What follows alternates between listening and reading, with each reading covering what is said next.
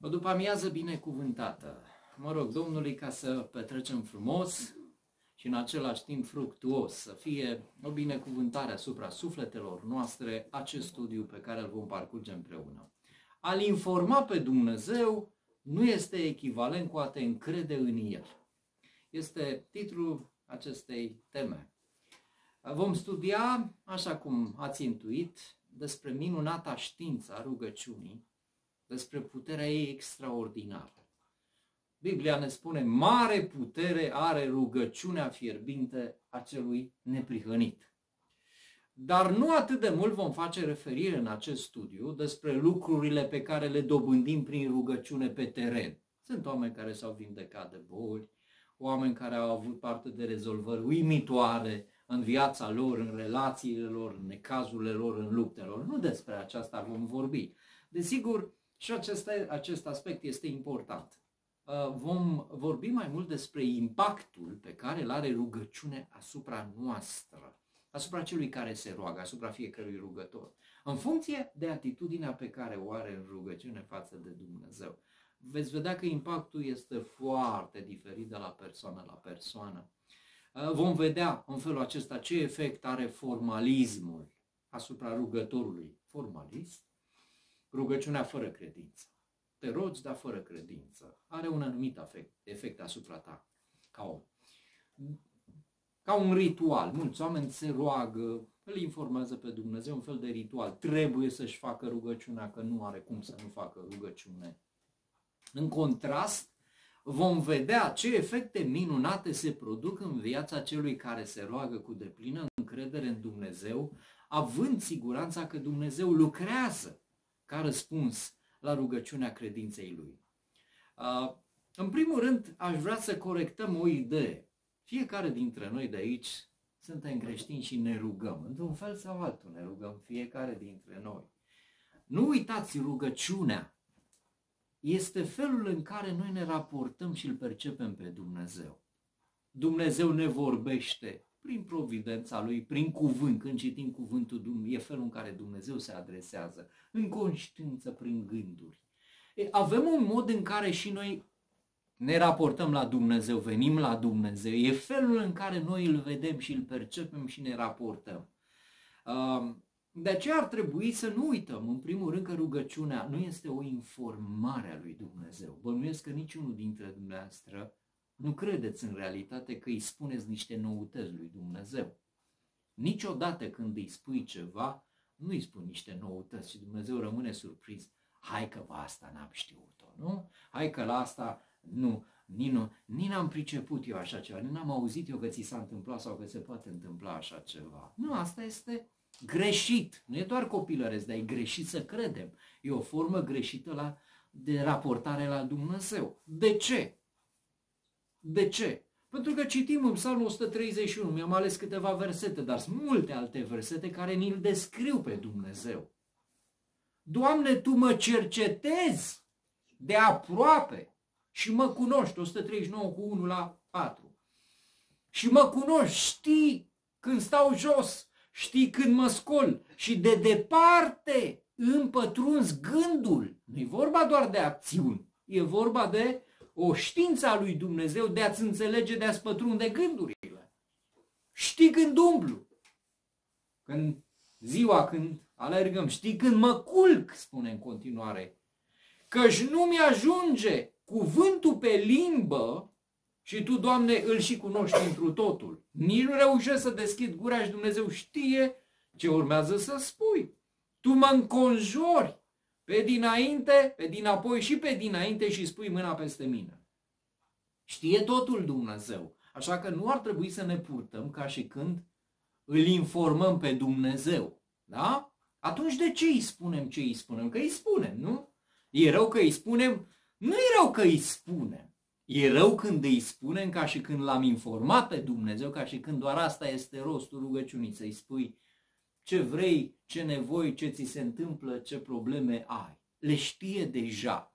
Atunci de ce îi le spunem? Îi spunem aceste lucruri pentru că îi le dăm lui. Dacă nu îi, le, îi, îi spunem ca și când îl informăm, nu are nicio valoare pentru că deja le știa.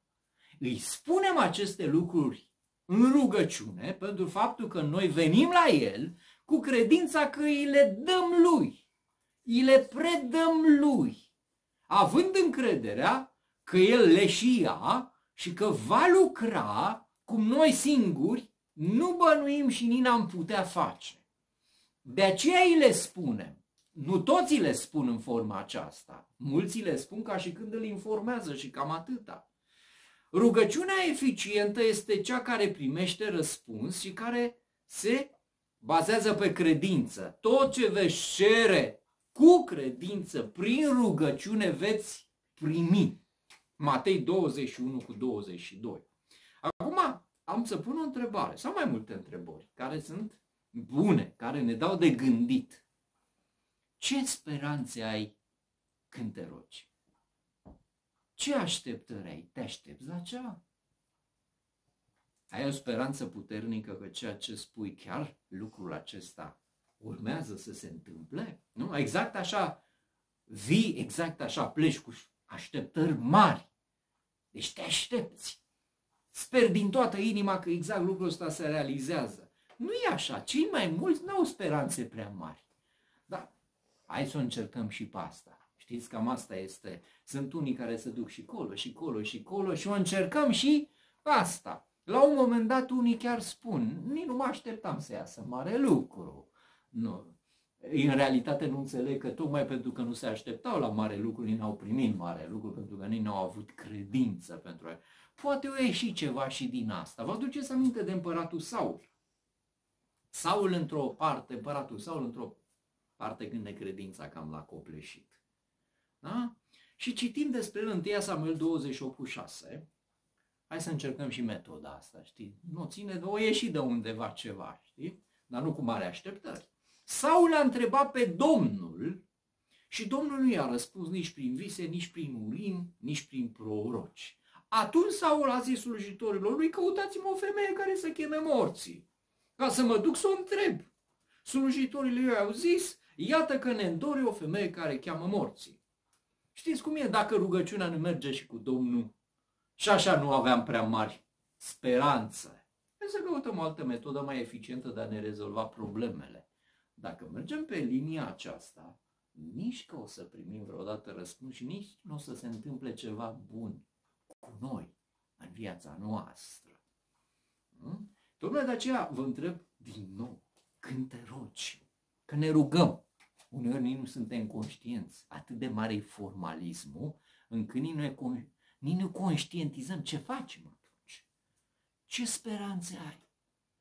Ce așteptări ai? Vii cu mare așteptări și pleci cu mare așteptări. Știi când este când aștepți ceva? Te aștepți ca să se întâmple lucrul ăla. Te aștepți. E o problemă doar de timp și de felul în care se aranjează lucrurile, dar tu, tu te aștepți sau nu te aștepți? Mm. Am mai făcut-o, e posibil să nu fie nimic, să nu se întâmple, să nu dea, să nu rezolve. Aș vrea să citesc versete de la oameni care s-au așteptat. Psalmul 5 cu 3. Doamne, auzim glasul dimineața. Dimineața e un drept, rugăciunea spre tine și aștept. Psalmul 130 cu 5. Eu nădăjduiesc în Domnul, sufletul meu nădăjduiește și aștept făgăduința lui. Filipeni 1 cu 20. Mă aștept și nădăjduiesc cu tărie că nu voi fi dat de rușine cu nimic. Mă aștept și sper cu tărie că așa se va întâmpla. Observați, sunt oameni care exact asta speră, exact asta așteaptă. De ce se așteaptă? Pentru că cred că se va întâmpla lucrul acesta. Și acum vă întreb ceva.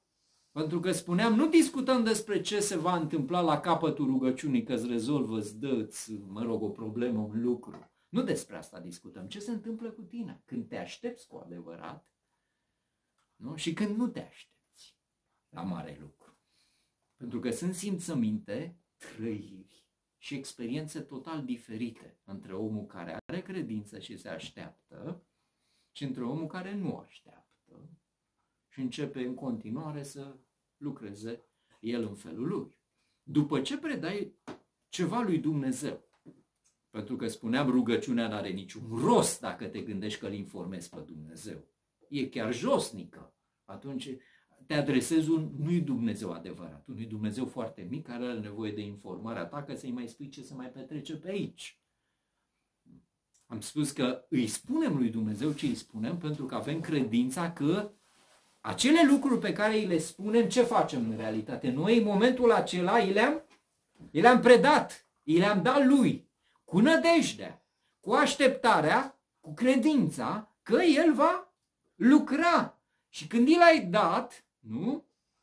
Lui Dumnezeu, probleme, încurcături, necazuri, lipsuri, frici, i-ai dat?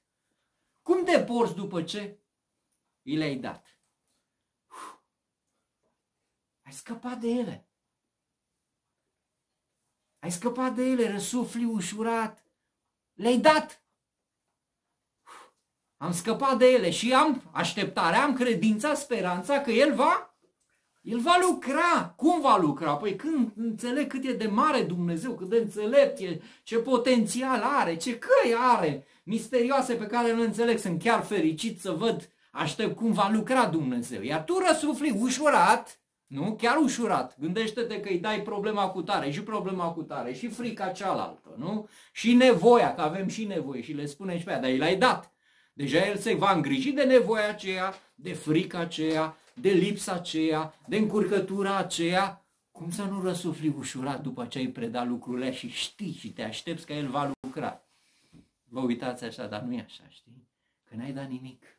În realitate, majoritatea l-au informat pe Dumnezeu, dar nu s-au încrezut pentru lucrurile acelea, că El deja lucrează și va face uimitor de frumos. Și ca atare, în loc să spui, le-am dat și am scăpat, sunt ușurat, le-ai dat din... Știi de unde le-ai dat? Nu le-ai dat din gură, le-ai dat din sistemul nervos.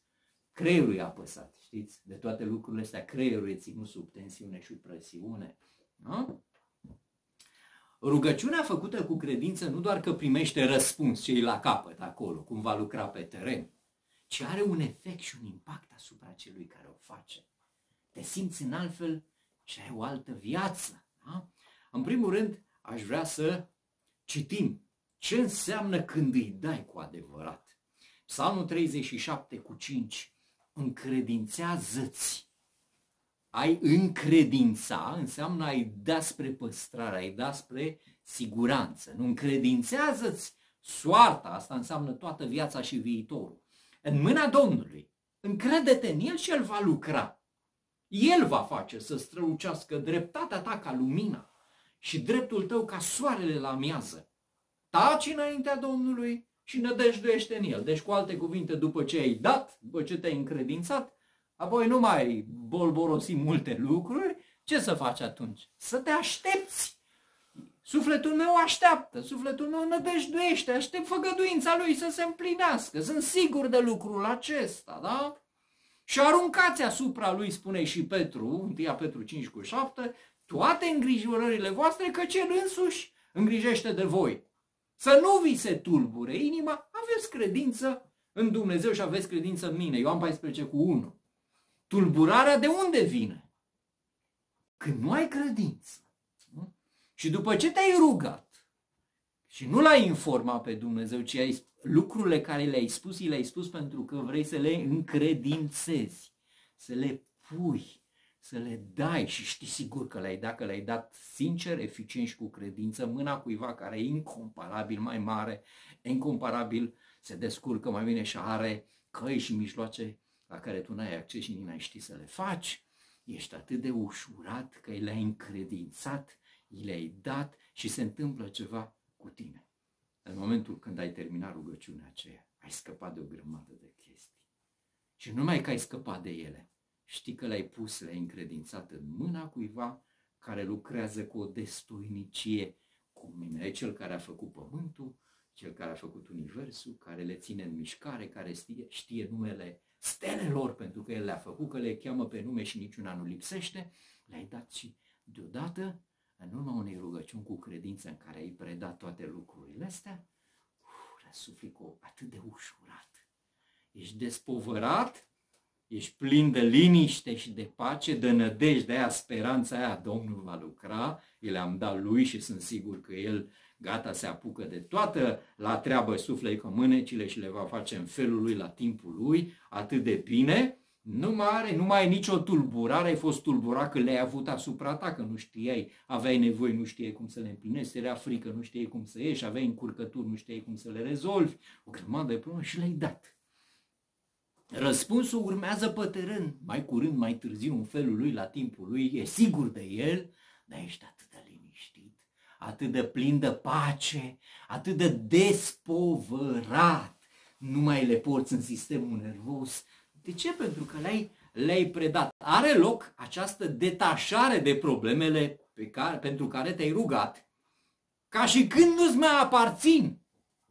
Ca și când nu te, ai, nu te mai privesc pentru că le-ai dat în mâna cuiva foarte sigur. Implicit are loc eliberarea emoțională de apăsare și de presiunile exercitate de griji, de temeri, de nesiguranță și de confuzie. Se întâmplă lucrul acesta după ce te rogi. Dacă nu se întâmplă, e cea mai mare dovadă că nu te-ai rugat cu credință, decât l-ai informat, dar nu te-ai așteptat să se întâmple ceva. Ni n-ai dat ceva lui. Te-ai dus și ai spus, uite, cam astea sunt lucrurile, dar nu știu ce se întâmplă, cum faci, oi face ceva, noi face ceva, eu te rog, dar ai plecat tot tulbura. De ce ai plecat tulbura și ne-ai liberat? Pentru că n-ai știut sigur că o să facă ceva, nici nu te-ai așteptat, n-ai avut mare așteptări. Da? Și n-ai avut experiența eliberării, detașării de poverile emoționale, de fricile, de confuzie, de tot ceea ce avea. Uh, este exact ceea ce Biblia, cazul acesta, îl descrie în Iacov 1 cu 5 la 8, dacă vreunia, aici dă un exemplu, vreunia din voi îi lipsește înțelepciunea, să o ceară de la Dumnezeu care dă cu mână largă și fără mustrare și ea îi va fi dată. Ne asigură că cerem înțelepciune, e un lucru care știm sigur că Dumnezeu, cum știm sigur de iertarea de păcate, cum știm sigur că Dumnezeu vrea să ne ajute să ducem o viață sfântă. Sunt și lucruri ciudate care e posibil să nu răspundă Dumnezeu, că nu e pentru binele nostru și El n-a promis lucrurile acestea, dar sunt lucrurile care suntem siguri 100% că să o cerem ne va fi dată cum? Cu mână largă de Dumnezeu, dar să o ceară cu credință, spune după aceea. Fără să se îndoiască deloc, pentru că cine se îndoiește, seamănă cu valul mării, tulburat și împins încoace și încolo. Nu doar că e instabil, e tulburat. Așa semănăm noi, numai că suntem instabili. Starea sufletească e una de tulburare emoțională, de apăsare și presiune. Și după ce te rogi, dacă te-ai rost, rugat și tot e sub presiunea emoțională și a fricilor și a grijilor, e cea mai mare dovadă că te-ai rugat fără credință. N-ai avut nicio așteptare și nici nu s-a întâmplat ceva, n-a avut un impact asupra ta, căci acest om, un astfel de om să nu se aștepte să primească ceva de la Domnul, căci este un om nehotărât și nestatornic în toate căile sale. În traducerea King James, a double-minded man, un om cu mintea dublă, este instabil în toate căile lui. Un om cu minte împărțită, o minte dublă, nu primești nimic.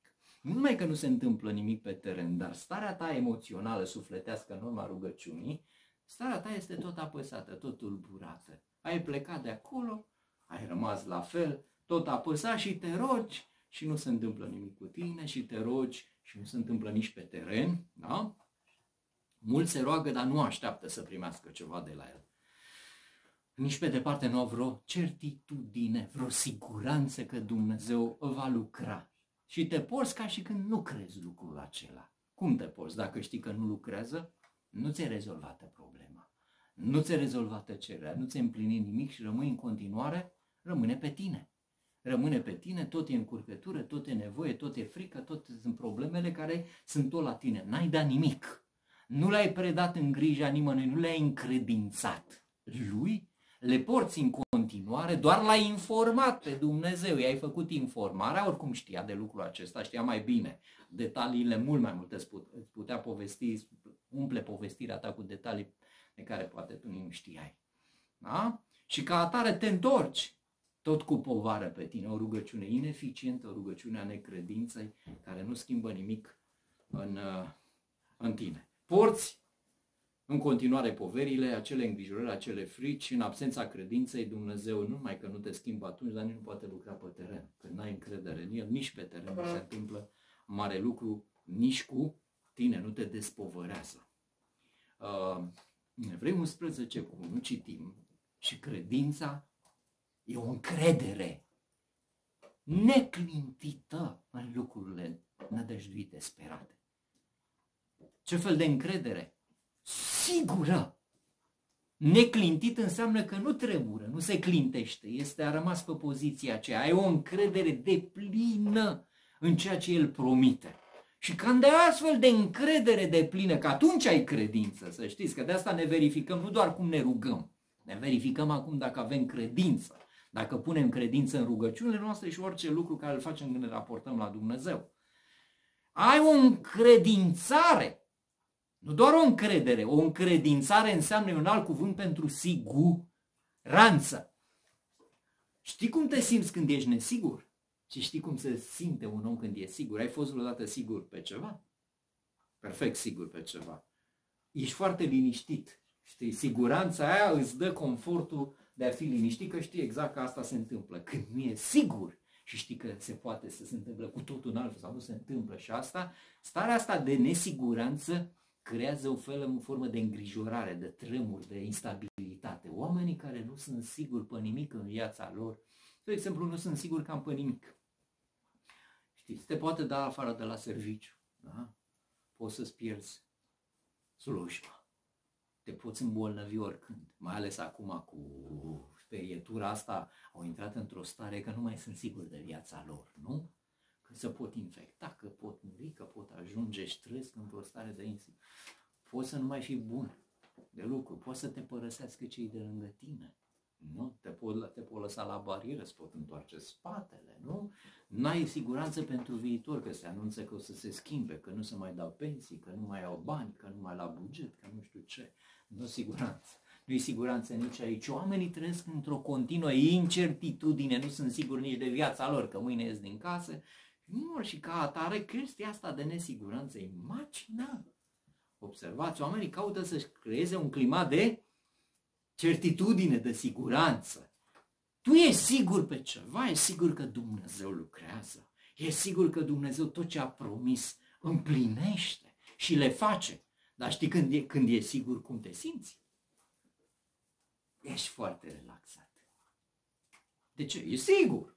E sigur, exact așa urmează să se întâmple. Ai o siguranță, o relaxare, n-ai frică de fluctuații de asta. De ce? Pentru că e sigur, o Credința o încredere neclintită în lucrurile sperate, o puternică încredințare despre lucrurile care nu se văd, puternică încredințare. Iată ce spunea Pavel. A doua Timotei 1 cu 12. Și din pricina aceasta sufăr de cel care trecea și prin suferință din pricina unor credințe. Dar nu mi-e rușine că știu în cine am crezut și sunt încredințat că El are putere să păzească ce am încredințat până în ziua aceea. N-avea nicio problemă, știa că e sigur în mâna lui Dumnezeu și ce-i pusese în mâna lui Dumnezeu nu se pierde, n-are nimeni ce să-i facă. Și siguranța aceasta ce credeți că generează? Confort emoțional, pace, liniște. De ce n-ai pace după ce te rogi? Pentru că n-ai nicio siguranță. Te-ai rugat fără să ai siguranța. De unde îți venea siguranța? Îți venea din credința neclintită că aia e siguranța lucrurilor nădesperate. Nu sunt acum, dar le sper cu atâta certitudine încât știi sigur, e ca și când le vezi. E ca și când sunt date. Nu? Și asta te face ca după aceea ești extrem de liniștit, știi în ce mână le-ai pus, da, nu te tulbură nimic, nu contează ce e afară. La tine în inimă e încredințarea aia de plină, ai spus lui Dumnezeu. Acum există și rugăciunea tip petiție. Știți? E un alt lucru, un alt aspect al rugăciunii. Știți, noi facem cereri și în lumea asta. Te duci la cât un director, te duci la cât o firmă de ăștia și știi grandoman, că nu bagă în seamă pe omul simplu, că e posibil să nu-ți dea și vii tu acolo cu o hârtie scrisă frumos, o petiție, o cerere de a ta acolo, onorate domn, vii cu formule de astea foarte așa, vă rugăm foarte mult, a lua în seamă cazul meu și nu știu ce, și acolo încep să-i spui, să explici problema. Realitatea, știi cum este, nu prea te aștepți la mare lucru, ești în același timp nesigur și nici nu simți că ăla chiar rezonează cu tine, că îi pasă lui prea mult de tine. Știi că chiar simte cu nevoia ta. Ăla e, nu știu ce poziție, ce post acolo, nu-i rudă cu tine și rudă nu te bagă în seamă, nu simte cu tine. Nu? Noi venim deseori la Dumnezeu exact tipul acesta. Găsim în Isaia 58 cu 3, să nu credeți că au fost religioși care exact așa l-au văzut și așa îl văd pe Dumnezeu. Și în rugăciune exact așa te duci, rece și distant. Rece și distant. Îi spui petiția, cu tare, cu tare, iartă-mă cu tare, dăm cu tare, am nevoie grijă și de copiii mei, te rog, cu mult respect, ne închinăm și aia este, știți? Nu-i relație, nu-i părtășie, nu-i comuniune, nu-i părtășie, nici nu vii încălzit de acolo. E rece, Domnul cu tare, vă rugăm să țineți cont de problemele noastre, e unisens. Ai transmis-o și nu știi ce o faci ăla. Oricum nu te aștepți la o legătură, nu te-a pus să te împrietenești cu el prea mult. Isaia 58 cu 3, la ce ne folosește să postim? Zic ei, dacă tu nu vezi, la ce să ne chinuim sufletul dacă tu nu ții seama de lucrul acesta? Oricum, ce și ce facem, că ne rugăm, că mai postim, cine știe, vede, nu vede, ne dă ceva, nu, e incertitudinea asta și răceala, distanța. Pentru cel formalist și ritualic, rugăciunea unisens, el transmite ceva, fără mare așteptări, cuiva care poate aude, poate nu aude, poate ascultă, poate nu rezolvă. Cel fără credință nu vede rugăciunea ca o ocazie de întâlnire și părtășie cu o ființă dragă și plină de compasiune și de empatie, cu cea mai empatică ființă, cu cea mai apropiată, cu ființa cea mai delicată și înțelegătoare. Tu înțelegi, eu înțeleg la cine apelăm noi. Ființa cea mai sensibilă din univers, nu? Asta e caracterul lui Dumnezeu care s-a manifestat și în Fiul Său Iisus Hristos. Ioan spune atât de frumos, 1 Ioan 1 cu 3, deci ce am văzut, ce am auzit, aceea vă vestim și vouă ca să aveți părtășie cu noi și părtășia noastră este cu Tatăl și cu Fiul Său Iisus Hristos. Observați cum vorbește El? Părtășie. Părtășie înseamnă, vine de la împărtăși. Nu doar de a comuni, a avea comuniune, ca avea împreună simțire. Nu e unisens. Înțelegeți? Când rugăciunea e rece, n-ai avut părtășie cu el. Adică nici nu te-ai gândit cât de mult simte cu tine. Cât de mult te înțelege că în altfel te-ai fi bucurat și ai fi așteptat de la el. Știți când E unisens când lași petiția, lași acolo și îți bă o semnătură, spune o ștampilă, da sau ba, cam asta te aștept să vină, știi? Dar nu poți să spui că ai părtășie cu director. Ai comuniune cu el, știi, deja el te mângâie pe umăr, te atrage aproape de el, îți spune, știi cât de mult simpli, prin ce treci. Nu este așa ceva. Și tu la rugăciune spui, dăm, fă cu tare, am cu tare, te rog, ajută-mă, nu știu ce. Amin. N-ai părtășie. N-ai părtășie cu el pentru că nu-l vezi cum trebuie. Nu te gândești că poate și el vrea să-ți dea ca răspuns ceva. Nu. Nici nu te gândești, la un moment dat pierzi din vedere datorită formalismului. Religioșii să tipizează, intre niște așa tipare de ăștia seci în care pierzi la un moment dat și la cine se roagă și cum este acela, nu? Gândiți-vă, gândiți-vă că nu există pe pământ cineva care să te înțeleagă cum te înțelege Dumnezeu și Fiul Său.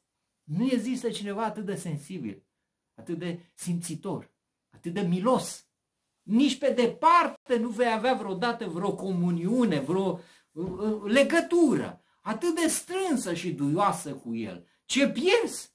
Pierzi exact ce urma să-ți dea Dumnezeu dacă te împărtășeai cu El. Dacă îl vedeai în altfel și așteptai ceva de la el. I-ai zis, ai închis și ai plecat. Cum ai plecat? Tu rece? Că a fost unisens, n-ai așteptat nimic. Tu rece pentru că nici nu te-ai gândit că el te înțelege. Știi? și de-abia vrea să te mângâie, să te consoleze, să te întărească cu niște mângâieri care sunt mai presus decât cele omenești. Da? Pentru cel care are credință adevărată și știe cui se adresează și la cine vine când se roagă, rugăciunea e o fel de părtășie, de împărtășire cu o ființă reală și extrem de sensibilă și empatică. Are dublu sens. El îi împărtășește cu bucurie, știe că îi asculta cu atenție.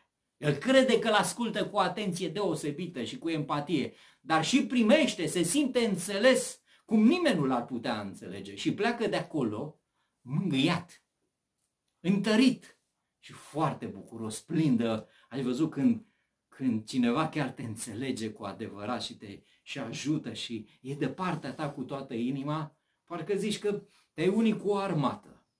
Uh, iată ce spun cuvintele Domnului despre oameni care au înțeles rugăciunea nu ca un sens, ca o petiție, ci au avut părtășie în rugăciune cu Dumnezeu, adică cu o ființă dragă. Uh, Psalmul 138 cu 3. În ziua când te-am chemat, m-ai ascultat, m-ai îmbărbătat și mi-ai întărit sufletul. Ați găsit versetul acesta? Ce s-a întâmplat în ziua când s-a rugat? Cum a plecat de acolo? A știu sigur că e ascultat. Știi când cineva nu te, te ascultă de politețe, când realmente te ascultă cu toată inima, când ești îmbărbătat, cum l-a plecat ăsta de la rugăciune îmbărbătat? Că cu tine vadă nu se întâmplă nimic. Pleci tot acolo instabil, în incertitudine. Ăsta a plecat îmbărbătat și cu sufletul întărit, împuternicit. Asta a fost răspunsul lui Dumnezeu la rugăciunea lui care a avut credință. A văzut în Dumnezeu o ființă care ascultă, care nu doar că aude, simte împreună cu el cu o drăgălășenie extraordinară, care de-abia așteaptă să-i dea mângâierea lui și a dat mângâierea lui. Da? Daniel 9 cu 21. Pe când vorbeau eu încă în rugăciunea mea a venit repede în zbor, iute, omul Gavril, îngerul Gabriel, pe care îl văzuse mai înainte într-o vedenie, m-a atins în clipa în care se aducea jertfa de seară, el m-a învățat, a stat de vorbă cu mine și mi-a zis, Daniel, am venit să-ți luminez mintea. Acum, când ai început tu să te rogi, și e și cuvântul și eu vin și ți-l vestesc că tu ești prea și scump. Cum vede Dumnezeu oamenii? Prea iubiți și scumpi îi tratează cu o delicatețe deosebită, cu o gingășie deosebită, cu o iubire în psalm acolo spunea, știți, nu doar că Dumnezeu știe, o știință atât de minunată, tu mă înconjori pe dinainte și pe dinapoi și spui mâna peste mine. Observați, a devenit conștient că nu m-a atins, l-a mângâiat. Și uh, Biblia spune în Psalmul 94 cu 19, când gânduri negre se frământă cu grămada ale untru meu, mângâierile tale mi înviorează sufletul. Isaia 66 cu 13, cum mângâie pe cineva mamă sa, așa vă voi mângâia eu. Da, sau cu siguranță. Acest da este cu siguranță veți fi mângâiați în Ierusalim. Uh, ai tu credința că te mângâie Dumnezeu, te duci și te aștept să te mângâie. Hmm? În fel și chip, mângâierile divine sunt mult mai mult decât mângâierile oamenilor. Alinarea lui Dumnezeu e cu totul și vii de acolo mângâiat. Ai văzut cum se bucură când copilul plânge și îl mângâie. Îi vorbește frumos, îl cântă și îl mângâie și îl ține așa. Ce se întâmplă cu el? Urlă în continuare? Nu, ați văzut că se liniștește și adoarme liniștit de mângâierile acelea. Și aici chiar compară cum mângâie pe cineva mama lui, așa vă voi mângâia eu. Veți fi purtați în brațe, Isaia 66 cu 12, și dezmierdați pe genunchi. Veți fi purtați în brațe, exact așa te vei simți după o rugăciune în care ai avut comuniune cu Dumnezeu, părtășie cu o ființă dragă. Rugăciunea formalistă și ritualică în care n-am primești nimic de genul acesta, nu se întâmplă nimic. Nu vorbim de ce se întâmplă pe teren, răspunsul în fel și chip la rugăciuni, pâine, ajutor, izbăvire, de tot. Vorbim de ce se întâmplă exact în momentul când un om se roagă prin credință sau formalist. Nu, ai fost mângâiat, ai fost purtat, te-ai simțit luat în brațe și ai simțit mângâierile lui Dumnezeu. Te-ai bucurat, Dumnezeu ți-a umplut mintea cu făgăduințele lui. Rugăciunea formală iarăși nu se bucură de ceva. În Marcu 9 cu 22. Și de multe ori Duhul l-a aruncat când în foc, când în apă ca să-l omoare. Vine un tată care avea un copil chinuit de demoni și greu să fii într-o familie și să ai un copil bolnav sau unul chinuit, apăsat. Dar dacă poți face ceva, fie milă de noi și ajută-ne. Iisus a răspuns, tu zici, dacă poți, toate lucrurile sunt cu putință celui care crede. În momentul când ești instabil, Psalmul 78 cu 19, au vorbit împotriva lui Dumnezeu și au zis, oare va putea Dumnezeu să pună o masă în pustie?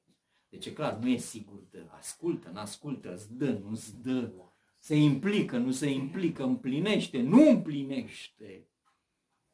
Pentru că așa este atitudinea de sceptici și necredință, dar spui, pune o masă în pustie, dar oare poate să pună o masă în pustie, dăm cu tare, ajută-mă în cu tare, trec prin, dar oare va putea să? Fiindcă cu toate că au cunoscut pe Dumnezeu, nu l-au proslăvit ca Dumnezeu, nici n-ai înțeles, nu te-ai raportat la el corect, nici nu i-au mulțumit, ci s-au dedat la gânduri deșarte și fără pricepere și inima lor s-a întunecat. Inima lor fără pricepere s-a întunecat. Cum ai putea să-i mulțumești lui Dumnezeu când tu nu e sigur că de chiar atunci să-i mulțumești din toată inima pentru lucrurile acelea? Stați un pic, pentru că este, sunt două aspecte. Când uh, te gândești că mulțumești cuiva, te gândești că îi faci un serviciu, că așa se cuvine, sau îți faci un serviciu cuiva. Nu e doar despre asta. E normal că e frumos, corect, și ești dator ca să mulțumești cuiva când îți faci un serviciu. Dar știi cum se simte un om care din toată inima mulțumește și are recunoștința. Nu e despre celălalt vorba, căruia îi mulțumești, ci cel care mulțumește în rugăciune, când vii cu credință și știi din toată inima că ceea ce îi cer e sigur, e o încredințare neclintită, atunci când e sigur că Dumnezeu îți dă, izbucnește în tine un sentiment puternic de recunoștință. Doamne, îți mulțumesc din toată inima. Nu le-ai primit, dar e sigur pe ele. E o încredințare neclintită. Și atunci știți care sunt sentimentele care cuprind inima rugătorului? Rugătorului cu credință. Îți mulțumesc din toată inima, Doamne, sunt atât de recunoscător. Când ai inimă recunoscătoare și mulțumitoare, cum se simte omul cu inimă recunoscătoare și mulțumitoare? E foarte satisfăcut. E foarte, cum să spun, bucuros, de siguranța lucrurilor care se vor întâmpla în viața lui. Da? Ai plecat, nu doar că nu i-ai mulțumit nici formal, că nu prea poți să mulțumești formal, că nu e sigur că îți dă ceva. Și dacă ai mulțumit, eu mulțumesc, e exact cum zice unul, mulțumesc, dar vezi că nu, nu-ți mulțumește deloc în realitate. Dar n-ai sentimentele de recunoștință și de mulțumire care nu au cum să vină, sunt imposibile pentru că nu crezi sigur că se va, va interveni, că Dumnezeu va lucra. N-ai sentimentele de recunoștință, n-ai sentimentele de mulțumire, inima aceea plină, da? Uh, în Filipeni 4 cu 6, nu vă îngrijorați de nimic, ci în orice lucru. Aduceți șerile voastre la cunoștința lui Dumnezeu, nu că și când n-ar ști, nu? Prin rugăciuni și cereri cu mulțumiri Adică îi mulțumești, nu că trebuie așa, ci că e sigur de lucrul ăsta. Și când mulțumești, intri într-o stare de recunoștință. Cât de bucuros poate să fie un om recunoscător? Când ești recunoscător, e o stare de satisfacție interioară. Aia e bună de tot. Nu mai spun că te-ai despovărat și de griji, o stare de pace și de liniște. N-ai nicio îngrijorare, nicio temere că le-ai dat pe toate. Nu-ți mai aparțin, nu mai ai tu treabă cu așa ceva. E și recunoscător și bucuros după rugăciune. E și mângâiat și întărit că ai avut părtășie, te-a strâns Dumnezeu în brațe acolo, ai simțit cum te înțelege. Ești recunoscător. Încep să cânți de bucurie. Vă aduceți aminte de Iosafat. A strigat în groaza lui, s-au aliat tot păgânii, neamuri păgâni au făcut o coaliție cu o armată imensă și a, fost, a fost anunțat că vine asupra lui, să asupra lui Israel să-i prăpădească. A intrat în groază, a mers la rugăciune, i-a chemat pe toți, hai să ne rugăm Domnului. Doamne, noi suntem fără putere în fața mulțimii ăștia, dar ochii sunt ațintiți spre tine. A venit răspunsul imediat, cineva, un proroc inspirat acolo a spus, nu voi veți avea de luptat în lupta aceasta. Domnul se va lupta pentru voi, voi stați liniștiți și veți vedea izbăvirea Domnului. Au crezut ei? Au crezut că în loc să se ducă cu arme în față, prima, în prima linie au pus un cor. un cor care cântau cât îți ținea gura de bucurie, lăudați pe Domnul că e bun, căci în veac ține îndurarea lui. Când cântau ei, când au ajuns pe teren, pe teren era rezolvată problema. Să înnebuniseră aceia, s-au bătut între ei, s-au omorât între ei, erau numai de adunat prăzi. Ideea este cum ai putea să mergi cu atâta bucurie și cu cântări de laudă când nu e sigur că Dumnezeu intervine și lucrează. Nesiguranța te usucă, nesiguranța te ține într-o tensiune, într-un stres continuă și este dovada clară că n-ai nicio credință. Că rugăciunile tale sunt fără credință, sunt ritualice, formaliste, fără să te aștepți, ca și când l-ai informat pe Dumnezeu. Atât îl informezi, dar nu-i faci niciun serviciu pentru faptul că știa deja, n-ai predat, n-ai dat nimic, nu e sigur de nimic, ca atare știi cum te simți când ai plecat de rugăciune. Tot plăștit, tot nemângâiat, tot neîntărit, tot plin de poveri și ai plecat în continuare și ca neavând credință nici pe teren nu se întâmplă mare lucru. Nici ca răspuns nu te poți aștepta și ca atare ești mai dezamăgit și spuneai, oare să merită să mai te rogi la Dumnezeu? Că tu nu spui că te-ai rugat fără credință, da? Ei bine, prieteni, cum să nu fii extrem de recunoscător când nici nu ai apucat bine să deschizi gura și să ceri ceva și deja știi că Dumnezeu va lucra, va rezolva și ai certitudinea că totul va fi bine. Dar oai, cine îți poate da certitudinea asta că Domnul va lucra? Dar credință. Dacă nu ai credința și nu te rogi cu credință, nu intri în starea nici de pace, nici de liniște, nici de siguranță, nici de certitudine, nici de bucurie și recunoștință. Pentru că exact asta este starea care îl însoțește pe un om care se roagă cu credință. De aceea, prietenii, aș vrea să mai vorbesc despre un aspect, rugăciunile făcute pentru iertarea păcatelor. Păcatul e cea mai mare problemă a noastră. Nu e o mare problemă, nu e una dintre marile probleme printre altele, ci e cea mai mare problema noastră. O problemă care, dacă nu e rezolvată, duce la moarte, nu la somnul ăsta, la moartea veșnică, la moartea eternă, moartea din care nu mai se ridică nimeni. Uh, dacă am scăpat de lucrul acesta, păcatul nu că doar duce la moarte, e un factor de stres în sistemul nostru nervos, uneori nerecunoscut de oameni, e, e cel care conștiința ți-o, ți-o, ți-o, ți-o ține în tensiune, nu te lasă să fii fericit, îți deranjează toată viața. El este păcatul. Uh, acum, Biblia ne învață și ne spune că Dumnezeu vrea să scăpăm de păcate și Dumnezeu ne poate scăpa de păcatele noastre și Dumnezeu ne iartă păcatele. Și acum vă întreb, de câte ori ar trebui să ne iertăm, să ne rugăm pentru iertarea unui păcat? Devenim conștienți că suntem greșiți într-un anumit aspect, da? Și venim la Dumnezeu cu convingerea că acel lucru nu-i bun și că Dumnezeu vrea să-l ierte, să ne scape. De câte ori ar trebui ca să-L informăm pe Dumnezeu despre lucrul acesta? Nu te duci și spui, Doamne, iartă-mă de cutare lucru. Ce se întâmplă cu tine? La ce te aștepți? Nu te aștepți, Doamne. Trebuie cel puțin de vreo 30, de 50 de ori, eu nu știu, probabil. O să ții toată viața așa. Și nu o să se întâmple nimic bun pentru faptul că nici nu te-ai rugat vreodată cu credință. De câte ori trebuie să-i spui lui Dumnezeu ca să te ierte de un anumit păcat? O singură dată. Pentru că în momentul când ai venit acolo, Dumnezeu i-a dat lui exact lucrul acela, da? Și Dumnezeu ți-a dat ce? Ce-a promis. Iertarea lui. Împreună cu iertarea ce vine? Când știi că ești iertat. Vine bucuria. Oamenii care au fost iertați cu adevărat și au crezut că sunt iertați de Dumnezeu, s-au bucurat extraordinar de mult. Imaginați-vă așa ceva, nu există pe pământul ăsta. Pe pământul ăsta când ai făcut un lucru și ai cazier, îl ai pe toată viața, înțelegeți? Cazierul rămâne scris. Poți să scapi din pușcărie, dar când te angajezi, oricum ai cazier. Există la Dumnezeu iertare și ștergere, da? Citim despre David, i-a zis lui Nathan, am păcătuit împotriva Domnului și Nathan i-a zis lui David, Domnul îți iartă păcatul, nu vei muri, nu? David spune, ferice de cel cu fără de legea, iertată și cu păcatul acoperit. Câtă vreme am tăcut, eram sub presiune, mâna ta apăsa greu asupra mea, e conștiința care nu te, nu te lasă liniști, care nu-ți dă pace. Da? Atunci ți-am mărturisit păcatul meu și tu ai iertat vina nelegiuirii mele. De aceea orice om să se roage la vreme potrivită și nu-l vor atinge ape mari ferice de cel cu, fără de legea, iertată și cu păcatul acoperit.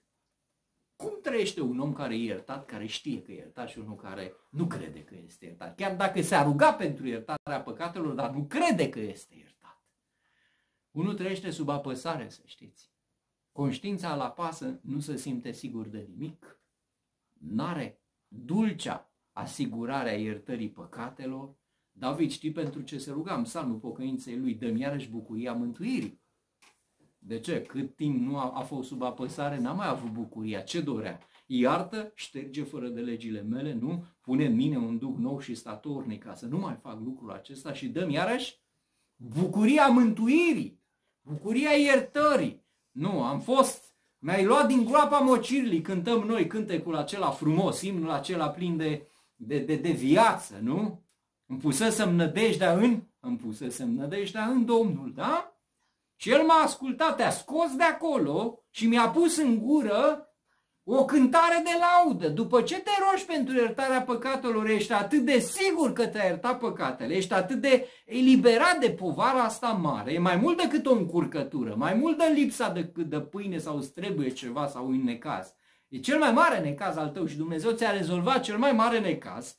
Îți dă pace că ți ia păcatul și stresul păcatului și povara păcatului și te umple de pace și ai bucuria că crezi lucrul acesta. Îți spune în gură cântare de laudă. Așa se întâmplă. Nu, te rog, iartă-mă și după aceea nu nimic. Nu, nu simți nimic pentru că nici ai crezut ceva. Nu s-a întâmplat nimic cu tine la nivel emoțional, mental, sufletesc.